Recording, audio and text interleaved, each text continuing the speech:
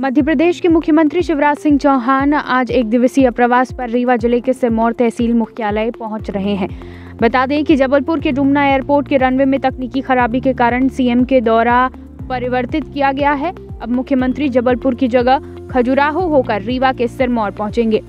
बता दें कि जिला प्रशासन द्वारा ये जानकारी दी गई कि मुख्यमंत्री जनसभा को संबोधित करने के बाद छह दशमलव चौंतीस करोड़ का हितलाभ बांटेंगे। कार्यक्रम के बाद मुख्यमंत्री दोपहर तीन बजे सिरमौर से हेलीकॉप्टर से प्रस्थान कर खजुराहो एयरपोर्ट वापस जाएँगे। आपको बता दें यहाँ पर सिरमौर स्थित उत्कृष्ट विद्यालय के मैदान में आयोजित समारोह में 222 करोड़ उन्यासी लाख रुपए के निर्माण कार्यों का लोकार्पण भी करेंगे।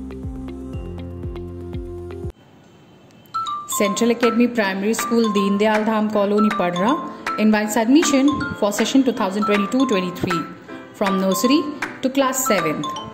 Grab the opportunity of free registration from nursery to class 1st and cashback of rupees 2500 for first 100 students seeking admission in class 2nd to 7th. Brought to you by Little Hands.